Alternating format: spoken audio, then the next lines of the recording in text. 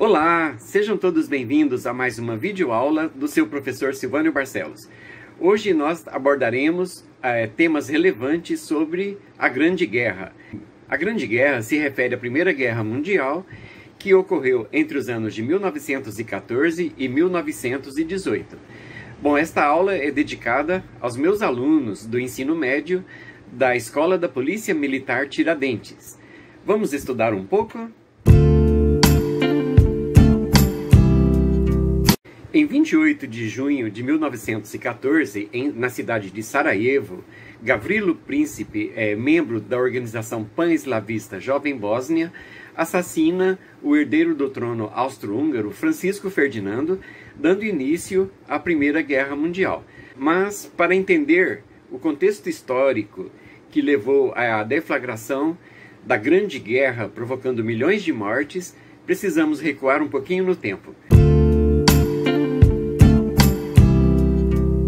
A Europa, em finais do século XIX e início do século XX, passava por grandes transformações provocadas por avanços tecnológicos no contexto da Segunda Revolução Industrial.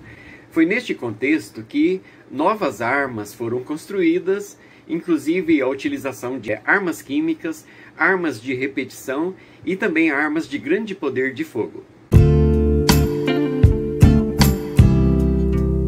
Bom, sem dúvida alguma, é, podemos apontar como a principal causa da Segunda Guerra Mundial as disputas das potências imperialistas pelo domínio de novos territórios. Mas qual eram os interesses por novos territórios? Vejamos isso em mais detalhes. O interesse pela disputa de novos territórios se dava pela carência de mercados consumidores e também fontes de matérias-primas, elementos vitais para que a própria revolução industrial e o modelo capitalista pudessem avançar. Para compreender melhor também este, o contexto histórico que levou à deflagração desta guerra, precisamos recuar um pouco ao século XIX, é, mais especificamente na época que é conhecida na historiografia como a Belle Époque.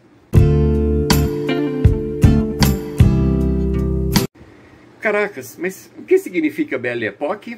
Vejamos isso. Por Belle Époque, é, entende-se o período da história, sobretudo no mundo ocidental, que abrange o início dos anos de 1871, quando teve fim a Guerra Franco-Prussiana, até a deflagração da Primeira Guerra Mundial em 1914. Esse foi, sem dúvida alguma, um período extraordinário de nossa história, marcado pela, pela euforia provocada pelo progresso tecnocientífico da segunda metade do século XIX. Bom, todos esses avanços tecnológicos, como a invenção do telégrafo e do, e do telefone, que revolucionaram as formas de se comunicar naquela época, e também do automóvel, do navio, da locomotiva a vapor, que revolucionaram os transportes, criaram verdadeiramente um clima de grande entusiasmo. Esse entusiasmo com o progresso refletia-se também na própria vida cotidiana e cultural de sociedade de grandes centros urbanos, principalmente no continente europeu. É, isto era altamente visível em cidades cosmopolitas, como Paris, Londres e Viena, e era, é, isso poderia ser percebido no tipo de vestimenta, nas modas, nos cafés, nos teatros, nas praças e parques públicos, e também nas galerias de arte. Vivia-se uma euforia possível somente em tempos de grande paz. Mas esta paz era equivalente a uma pessoa que dorme tranquilamente aos pés de um vulcão. A gente vai entender melhor isso. Espere um pouco, não saia daí. No entanto, como em tudo na história, a Belle Époque tem o seu outro lado, teve o seu outro lado. O arcabouço de avanços tec tecnocientíficos que fez progredir amplamente a sociedade industrial durante a Belle Époque também teve o seu contraponto. O mesmo tipo de tecnologia que começava a ser aplicado na comunicação, na educação, na arte, na cultura, também foi utilizado para para a produção de armas pesadas de destruição em massa jamais vistas na história da humanidade. Bombas de grande poder de destruição, canhões, carros blindados, metralhadoras, gases tóxicos, gases tóxicos são um pouco do exemplo deste avanço na área bélica durante o período da Belle Époque. Além disso, uma outra arma que se provou tremendamente eficiente foi a invenção do, do foi a invenção do avião. Bom, que diga-se de passagem, foi um brasileiro, Alberto Santos Dumont, apesar de nossos irmãos do, da América do Norte é, requererem para eles a invenção do avião. Essa não tem para eles, não é mesmo? Bom, então o avião inventado por Alberto Santos Dumont, um símbolo do triunfo da Belle Époque, tornou-se uma das armas mais temidas. É, esse fato, inclusive, levou ao suicídio do, do seu próprio inventor, de Santos Dumont. Com relação às, às, disputas imperialistas, a primeira coisa que, que se observa, é, sem dúvida alguma, e já falamos nisso agora, foi a crise de superprodução industrial, que levou à necessidade de acesso a novos mercados consumidores. Ah, um outro fato relacionado às disputas imperialistas foi a unificação da Alemanha, digamos, é, diga-se de passagem, uma unificação tardia. Alemanha e Itália foram os últimos estados da Europa a se, a se unificarem e se constituírem como Estado-nação. Aqui eu abro um parênteses só para lembrar que foi a nossa querida Portugal a primeira nação a se constituir como Estado-nação. É, são os nossos ancestrais aqui mostrando o seu valor. Convenhamos, né, galera? Bom, a unificação da Alemanha ocorreu em 1871 por uma série de fatores e entre eles nós podemos perceber o grande desenvolvimento industrial e crescimento do poderio militar, principalmente da marinha mercante e também da marinha de guerra. Paralelo à unificação da Alemanha, nós vemos, é, nós, é, nós percebemos também com muita força o imperialismo dos Estados Unidos da América e também do Japão, com o avanço de suas influências em suas respectivas áreas de atuação. Ou seja, com relação aos Estados Unidos, a área de atuação, é, área de atuação era a, toda a América Latina e com relação ao Japão, boa parte da Ásia. É, bom, por conta de todo esse contexto, é, a fabricação de armas, né, essa, essa verdadeira corrida armamentista e também a unificação da Alemanha, aliada à crise da superprodução industrial, criou um clima de instabilidade dentro da própria Belle Époque. A paz armada se refere à corrida tecnológica e armamentista que foi empreendida pelas maiores potências da Europa e também dos Estados Unidos. Essa corrida tecnológica e armamentista suscitou grande temor entre as maiores lideranças do mundo. Caminhava-se desta forma aos poucos para um inevitável conflito em escala global. Uma outra questão também, no contexto que levou à deflagração desta guerra, foi o sentimento nacionalista. Espera aí, professor. O que significa sentimento nacionalista? Aguenta aí que já vamos explicar um pouquinho sobre isso aí. Se liga nessa vibe. Bom, galera, com relação ao sentimento nacionalista, a primeira coisa que temos que levar em consideração foi o nacionalismo alemão, também conhecido de pangermanismo. Afinal de contas, o que significa pangermanismo? Galera, um grupo de alemães nacionalistas constituiu o pangermanismo, que foi o movimento originário da Liga Pangermânica de 1895, e essa galera, ávida por poder, preconizava a expansão do Império Alemão com a anexação de todos os territórios eh, habitados por povos de origem germânica na Europa Central. Inclusive, esse discurso do pangermanismo foi um dos argumentos utilizados pelo Kaiser Guilherme II para a participação da Alemanha na, na Primeira Guerra Mundial, fundamentando assim a sua política expansionista. Essa galera, esse povo não estava de brincadeira. Uma outra questão relacionada ao sentimento nacionalista foi o nacionalismo francês, que estava ligado a uma ideia de revanchismo. Galera, presta atenção nisso. A, a França, é, tinha, é, a França passou a alimentar um profundo desejo de retomar o território da Alsácia-Lorena, que foi conquistada pelos alemães na Guerra Franco-Prussiana, que foi de julho de 1870 até maio de 1871. Então havia um desejo latente de reconquista deste território, um sentimento de revanchismo que tomava conta da intelectualidade francesa, dos meios políticos e também de boa parte da população. Bom, uma outra questão extremamente é, relevante com relação aos sentimentos nacionalistas se desenvolveu na região dos Balcãs. Galera, naquela região era um verdadeiro barril de pólvoras. Bom, é, a região dos Balcãs eram dominadas pelos poderosos impérios turco-otomano e austro-húngaro. É, foi neste contexto que a Sérvia após ingentes batalhas, conquistou sua independência com relação à dominação dos turco-otomanos. E essa galera aspirava à criação da Grande Sérvia, né? da Grande Sérvia, é, com a união de todos os povos eslavos. O mais interessante disso é que havia participação dos russos. Você sabia disso?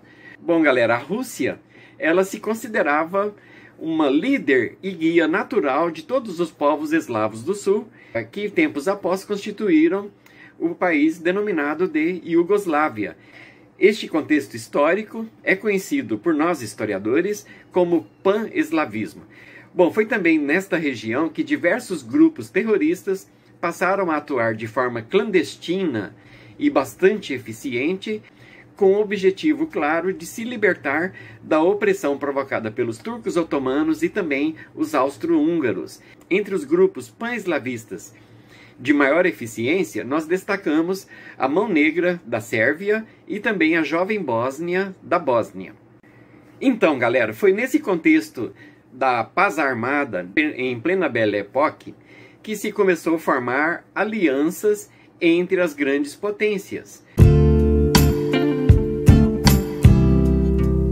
é, essas alianças, obviamente, visavam né, a, a, a montar uma base uma base eficiente para um provável conflito em escala mundial. A primeira aliança a se formar foi a Tríplice Aliança ou Impérios Centrais. Isso ocorreu em 1892, quando a Itália aderiu à aliança entre o Império Austro-Húngaro e a Alemanha. Mais tarde, em 1914, o Império Turco-Otomano também passa a fazer parte da Tríplice Aliança. Em contrapartida, anos após, isso foi em 1907, eh, se formou a Tríplice Entente. Bom, a Tríplice Entente basicamente era aliança entre a França, a Rússia e também a Inglaterra. Um pouco mais tarde, em 1915, Japão e Itália se integraram à Tríplice Entente. E no final da guerra, olha só, é, Brasil e Estados Unidos também se integraram à Tríplice Entente. A participação do Brasil foi somente simbólica com envio de enfermeiros, de armamentos e, e aviadores, mas a ação dos Estados Unidos foi decisiva, inclusive, para o desfecho desta guerra de escala global. Como vimos então, no final dessa corrida armamentista da paz armada, no final desse período da Belle Époque, né, um período de anseios e euforia, um paradoxo histórico, é, ela finalmente foi deflagrada por conta de um efeito do, dominó, um desmoronamento de cartas que foi provocado, como nós já dissemos, pelo assassinato do, é, do Francisco Ferdinando. Galera, isso foi muito louco. é, um guerrilheiro chamado Gavrilo Príncipe, da jovem Bósnia, resolve, é, resolve aproveitar a oportunidade da visita que o Francisco Ferdinando, herdeiro do trono austro-húngaro, fazia à cidade de Sarajevo. Ele desferiu tiros contra Francisco Ferdinando e isso provocou o início da, da Primeira Guerra Mundial, da Grande Guerra. É, assim, o Império Austro-Húngaro, de imediato, já que seu príncipe herdeiro havia sido assassinado por grupos terroristas da Bósnia, ele declara guerra à Sérvia, provocando uma reação em cadeia no sistema de alianças. Logo após, a Alemanha declara guerra à Rússia, França e à Bélgica. Em contrapartida, a Inglaterra declara guerra à Alemanha. Estava formado um cenário de terror na Europa, que levaria à devastação da sua economia e à morte de milhões de pessoas. É, galera, não sai daí. A gente vai ver com detalhes como foi essa guerra e principalmente a tática utilizada, denominada de guerra de trincheiras. Galera, inicialmente, essa guerra começou na modalidade de guerra de movimento, isto é, a grande movimentação de tropas de ambos os lados, ou seja, da Tríplice Aliança e da Tríplice Entente, com vistas à invasão e ocupação rápida dos territórios inimigos. Porém, esse avanço, que durou ao longo de praticamente todo o ano de 1914, começou a ser refreado em 1915, quando os estrategistas militares passaram a privilegiar agora não mais o avanço, mas sim a defesa das posições conquistadas. Bom, essa fase da defesa das posições ficou conhecida como Guerra de Posição, mas também levou o epíteto de Guerra de Trincheiras. Era um cenário pós-apocalíptico. O objetivo da, das trincheiras era criar grandes corredores de valas cavadas no solo que serviam como verdadeiros cordões demarcadores, demarcadores das posições já conquistadas no avanço rumo ao território inimigo. Bom, galera, e a participação dos Estados Unidos? Como que ficou? Aguenta aí, a gente já vai ver isso, não sai daí não. Em abril de 1917, submarinos alemães atacam navios mercantes dos Estados Unidos esse episódio histórico provocou a entrada dos Estados Unidos no, nesse conflito mundial.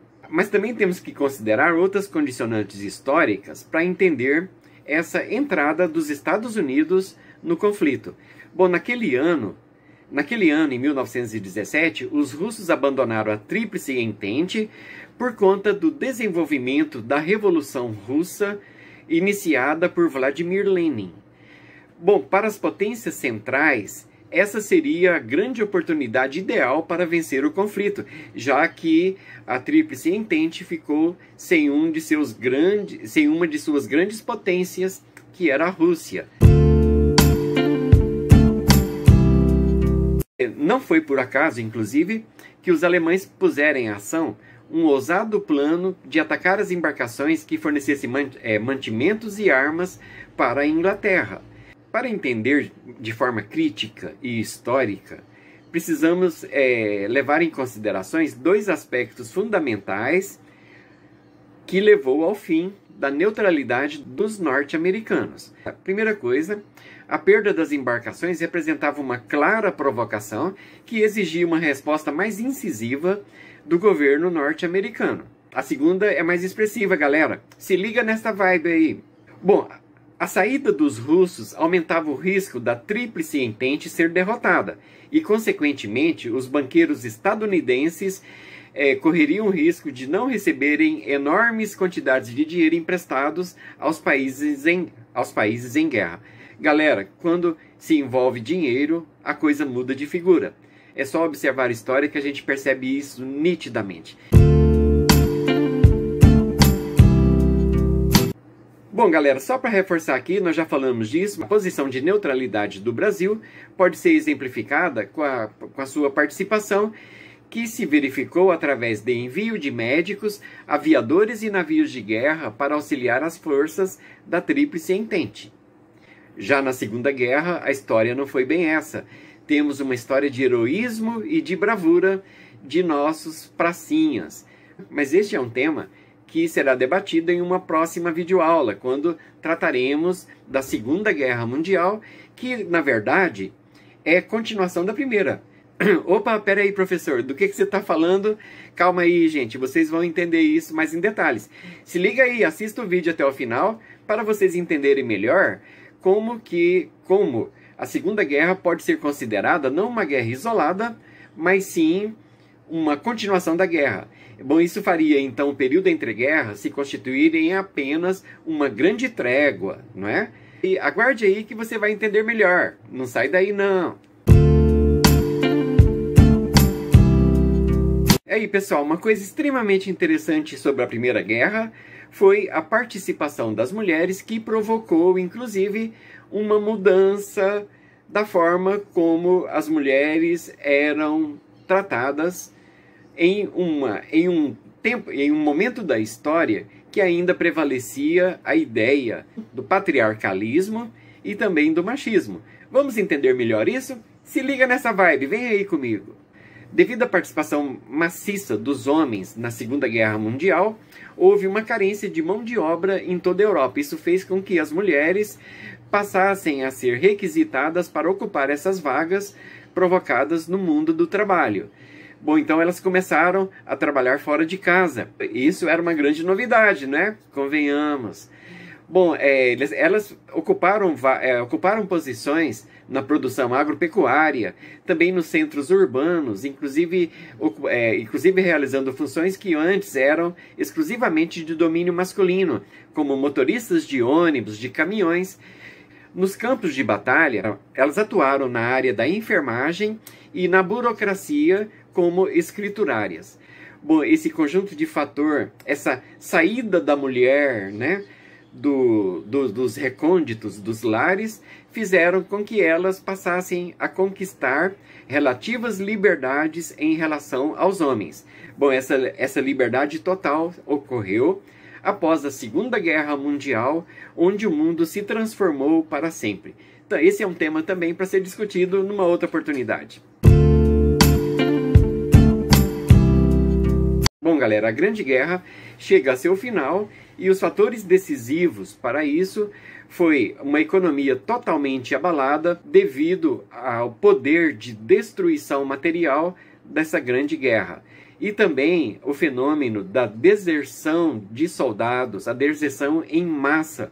Bom, eles já não compreendiam mais é, o porquê de estar combatendo. Então, não havia mais um motivo prático para se continuar nesta guerra genocida.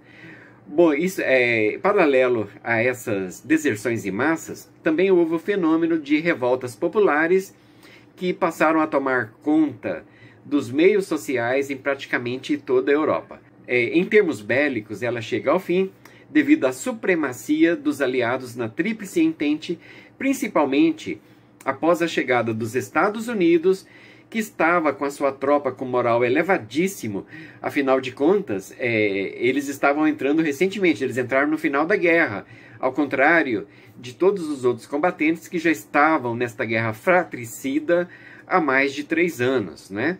Então, em pouco tempo, as tropas alemãs e austríacas foram derrotadas. Assim, em 11 de novembro de 1918, foi assinado o armistício na cidade de Campigny. Esse, nesse armistício, se acertou a retirada dos alemães e, e se estabeleceu a rápida vitória da Tríplice Entente. É, aí eu volto a frisar novamente aqui, com o reforço providencial das forças norte-americanas. Galera, não sai daí não. Agora que a gente vai compreender em detalhes o porquê que muitos historiadores e estrategistas militares da atualidade entendem que a Segunda Guerra não foi um fenômeno isolado, não foi uma outra guerra, mas sim a continuação de uma guerra que havera sido mal terminada. Então muitas coisas ficaram em aberto e esses fatores né, levaram à volta, à retomada da Grande Guerra. Bom, é, e esses fatores têm nome e sobrenome. E tem data também, gente. Presta atenção aí. Tratado de Versalhes, que foi, é, que foi escrito no Salão dos Espelhos, no Palácio de Versalhes, em 28 de junho de 1919. Mas espera aí, professor, por que que isso, o que, que isso tem a ver com a questão de que a Segunda Guerra não foi um fenômeno isolado? Calma aí, a gente já vai entender isso. Vem comigo, se liga nessa vibe aí. Bom, vamos em partes, vamos analisar em partes para a gente compreender melhor, melhor isso aí. Com o Tratado de Versalhes, a Alemanha assume pesadas indenizações é, por conta dos prejuízos da guerra. Bom, então ela ficou com toda a responsabilidade material, com todo o prejuízo. Ela teve que pagar uma fortuna. Inclusive, é, a última parcela desta dívida assinada em 1919 foi paga pelos alemães somente no ano de 2010. É muito tempo, não é, gente? Convenhamos. Bom, é, com relação às perdas alemães, nós temos perdas em, em vários níveis. Em níveis territoriais, pode-se dizer que eles perderam 13% de seu território e também 10% da população de língua germânica. Isso, sem dúvida alguma, se constitui em fator de grande humilhação para o povo alemão. Em termos territoriais, então, os alemães foram obrigados a devolver a Alsácia-Lorena para os franceses. Lembra que nós falamos que havia um sentimento de revanchismo no nacionalismo francês? Exatamente, a França reconquista o território da Alsácia-Lorena que na Segunda Guerra volta para o domínio dos alemães. A gente vai ver isso numa outra oportunidade. Me acompanhe aí no meu canal, gente. É, passa por lá, se inscreva. Bom, como vimos, essas perdas territoriais foram extremamente danosas para a economia alemã. Bom, além disso, os alemães também tiveram que aceitar os seguintes termos, que também eram extremamente vexatórios. Vai prestando atenção nesses detalhes aí, galera a Áustria ficou proibida de unificar-se com a Alemanha. E, e, mais grave ainda, os alemães perderam todos os seus domínios coloniais. Gente, vai, vai analisando aí, vai ligando os pontos, não é? é? Quando a gente começa a estudar o Tratado de Versalhes e as posições vexatórias que foram impostas à Alemanha, é, daí podemos entender claramente o porquê da Alemanha ter iniciado retomar, reiniciado a Segunda Guerra Mundial, ou de acordo com aquela outra narrativa, simplesmente retomado a Grande Guerra. Então, com relação ao poderio militar, a Alemanha ficou praticamente sem condições de constituir uma força militar significativa. Mas, gente, nas entrelinhas aqui, cá entre nós, é, nós sabemos que ah, os alemães, é, com auxílio da Rússia, manteve e adestrou um forte contingente militar em território russo. Isso possibilitou, inclusive, a retomada da guerra com toda a força. Com as táticas da Blitzkrieg, a Alemanha desenvolveu um poderio militar e bélico sem precedentes na história. Digno de qualquer Hydra, se a gente for pensar nos filmes, não é? Tá, bom, com relação às perdas e às contenções é, é, ligadas às áreas militares, nós, é, nós podemos ver entre, os, entre as cláusulas do Tratado de Versalhes, primeiro, a proibição de promover recrutamento militar. E não, e não só isso, a proibição de ter mais do que 100 mil soldados. Isso não significa nada para uma nação como a Alemanha. A, a proibição de ter uma marinha de guerra a proibição de ter aviação de guerra. Imagina só um país sem defesa, é, sem defesa náutica e sem defesa aérea. Não tem como, né, gente? Convenhamos. Bom, e, e também não foi só isso. É, houve também a proibição de ter tanques de guerra e artilharia pesada. É, além disso, a região da Renânia deveria permanecer totalmente desmilitarizada e as construções militares que tinham nela foram totalmente demolidas.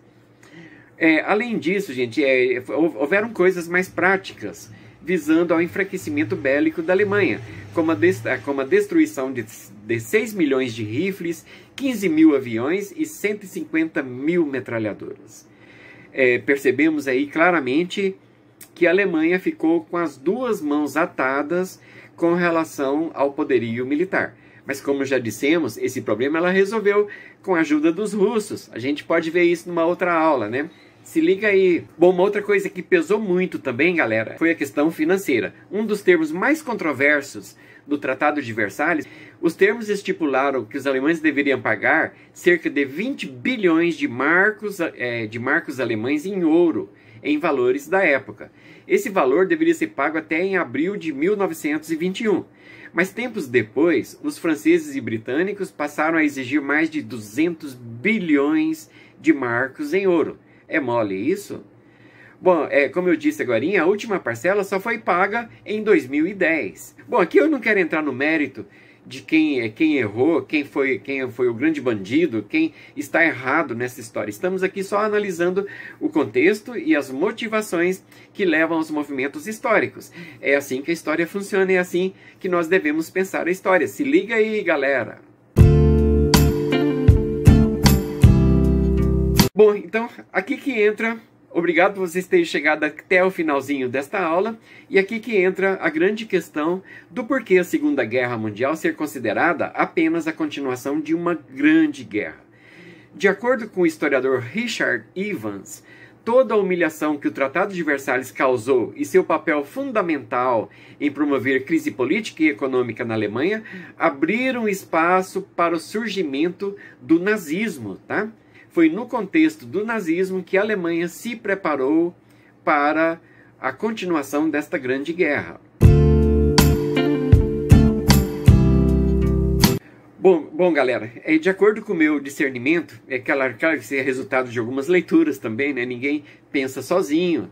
As duras e humilhantes imposições do Tratado de Versalhes alimentou no período entre guerras um sentimento de nacionalismo e revanchismo que foi canalizado por Hitler e potencializado pelo projeto nazista. Tá? Esse sentimento de revanchismo abriu caminho para a eclosão da Segunda Guerra Mundial. E daí, galera, dá de entender como que a Segunda Guerra foi uma mera continuação e que o período de entreguerras, então, pode ser considerado como um simples período de tréguas? Fácil de entender, não é? Convenhamos. Tá, para muitos historiadores. Então, é, então para fechar, para muitos historiadores, o período entre guerras foi simplesmente uma trégua de uma guerra que havia terminado por força de tratados, mas não pelo sentimento de revanche do povo alemão. E um sentimento de revanche que alimentou um nacionalismo extra-exacerbado, é, culminando num projeto nazista que visava a conquista, nada mais nada menos, de todo o globo terrestre. A gente verá isso em detalhes em outra videoaula sobre a Segunda Guerra Mundial. Eu aguardo todos vocês lá. Entrem no meu canal, dá um like, se inscrevam. Bom, galera, é, agradeço muito vocês terem chegado até o final aqui comigo e eu os aguardo em uma próxima oportunidade. Até breve!